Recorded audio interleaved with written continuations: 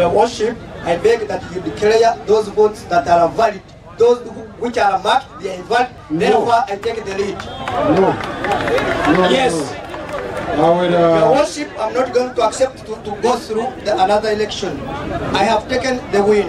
Bw'atyo moses busobozi bwawulikise nga yeekaliza mu mulamuzi david sawuni ne yeerangirira nga bw'abadde awangudde ku kifo ky'obwa sipiika bwa disitulikiti ey'e kagadi. Bino byonna okubaawo ono asoose kwecangacyanga ng'okubala obululu kugenda mu maaso oluvannyuma lw'okuwulira munne magezi muwonge gw'abadde avuganya naye ng'amuleebya bw'atyo n'asalawo okubissaamu obwangu yeerangirire ono abadde yeekaaliisa ng'akaalakaala n'akazindaalo omulamuzi amulagidde okukikomya adde mangu mu kifo kyatuule era kino naye akikoze.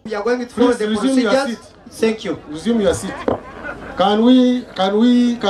Wadde ono akozesezza obwangu okwerangirira gye biggweredde ng'omulamuzi sawuuni alangiridde magezi muwonge ku buwanguzi n'obululu 39 nga busobozi afunye obululu 25 Having obtained the highest number, I declare Magezi Muwonge as the elected dis- district speaker for Kagadi.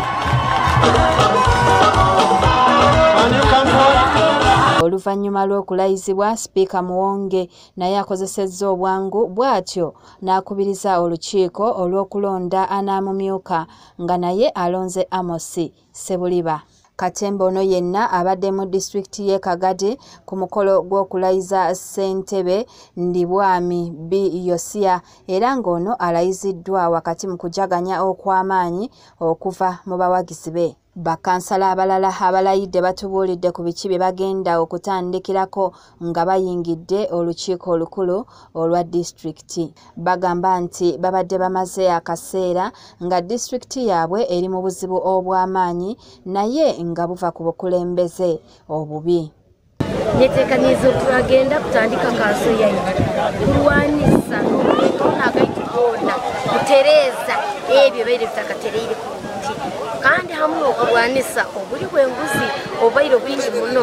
Gamba ngu mu kutunga emirimu abantu baine basinga kutunga emirimu mulingo obutahikire kulungira amaka habwokuba ndakunda enkurakurana y'amaka n'ebyara amaka gaga galimu obutakyengera tigakakurakurana abatuuze nabo boogedde ku kulayizibwa kw'abakulembeze baabwe wamu n'ebyo bye baagala babakolere The unemployment, like here in, in our district, there are very many people who are educated, but they don't have jobs, yet they are educated. kalungi betty delta tv amasukkulumu